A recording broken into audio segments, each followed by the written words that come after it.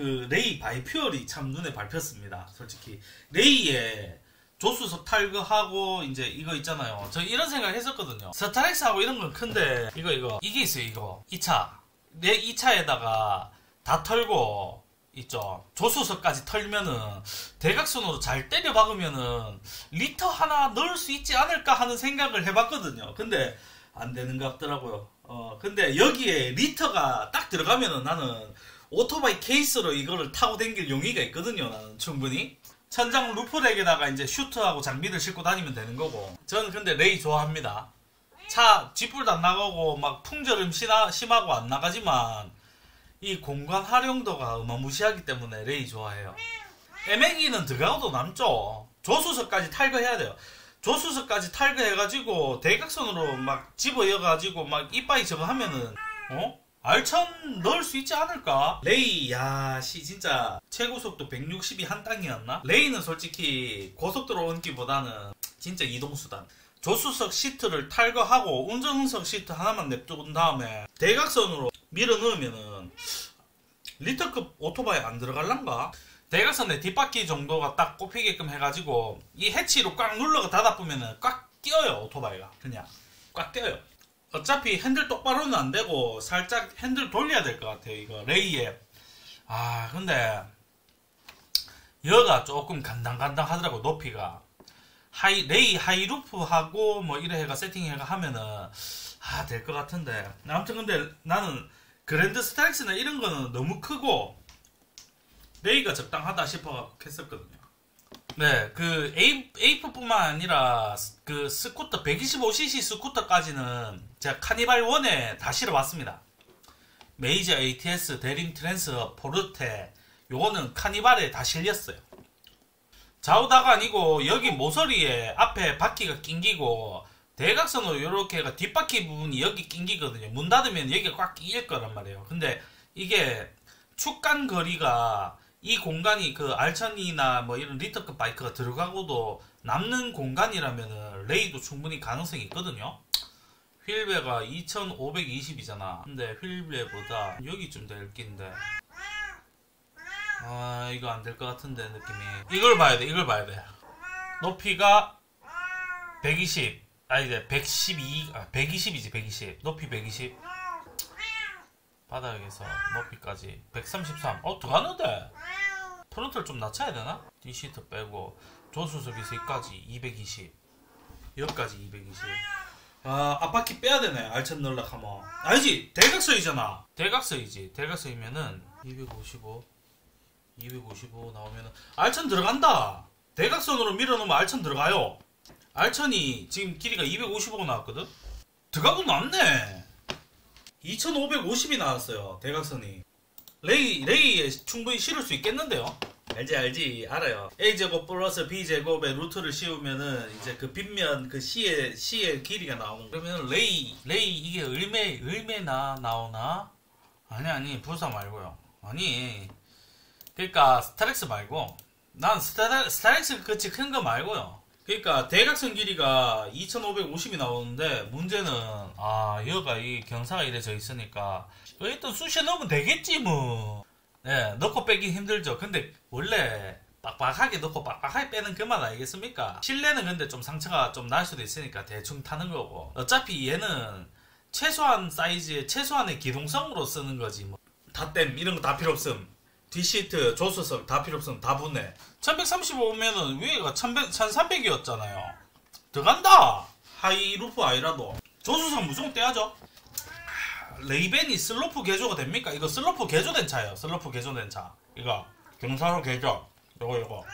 안 들어가면 타이어 바람 빼서라도 쑤셔 넣어야지. 아니, 그냥 말 그대로 케이스잖아, 케이스. 말 그대로 짐차.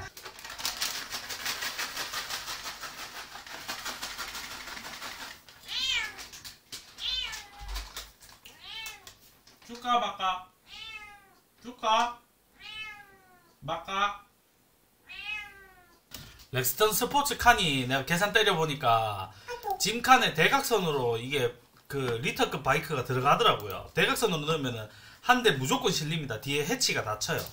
렉스턴 스포츠 칸에는 300만 원대가 있었는데 지금 이제 가격이 좀 처 미쳐 돌아갈 겁니다.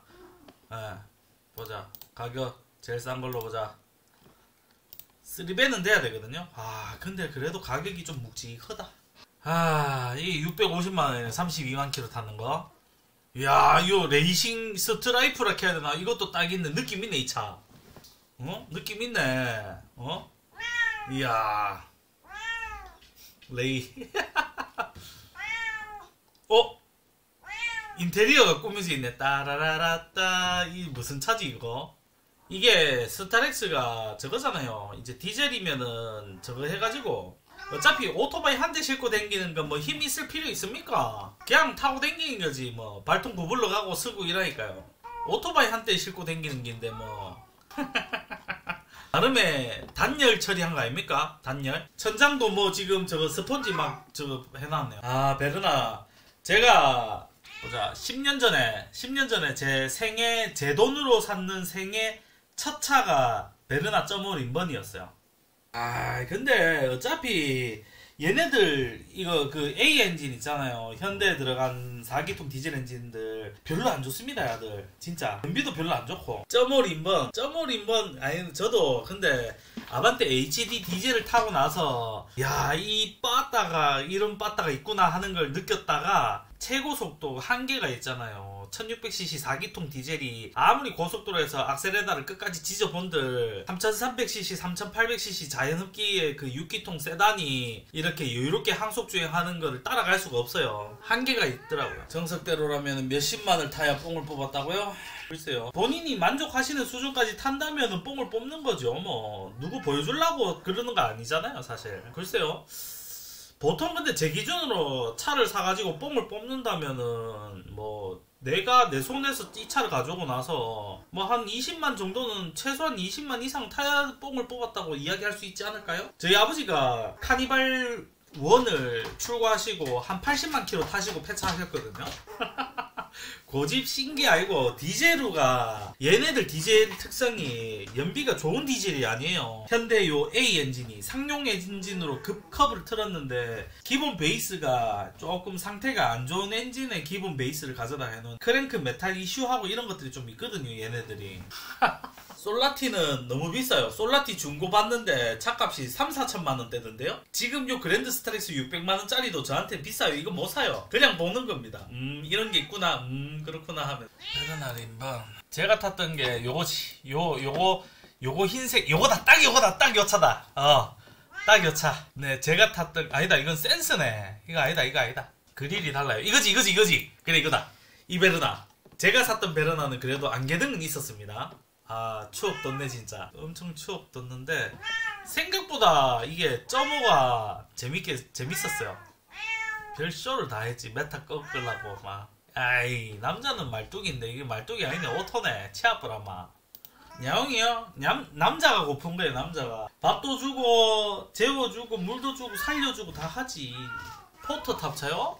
아니 그것도 이상한 거 막 그 90 몇 년씩 포터 이런 거 아니에요? 포타르기니. 아니 근데 아유 포터가 여기 있나? 화물차로 가야 되는 거 아닌가? 화물 특장 가야 되네. 가고 기왕이면 파워게이트 한번 볼까? 1톤에 파워게이트. 자 cheap한 아이로 한번 보도록 하겠습니다. 가격 가격 정렬 뭔데? 이 뭔데? 대구 299만원. 무슨 일이고? 녹가네입니다. 예, 돈가네가 없은 옷에 아직은 못합니다. 어 뭔데 팔린나? 아씨 섭섭하네. 아반떼 오도 아 아반떼 스포츠 말하는 거예요? 아반떼 XD 스포츠. 근데 그 차보다 두부 드리프트 머신에 가까운 거는 아반떼 그 스포츠 아반떼 XD 스포츠보다는 베렌 같습니다.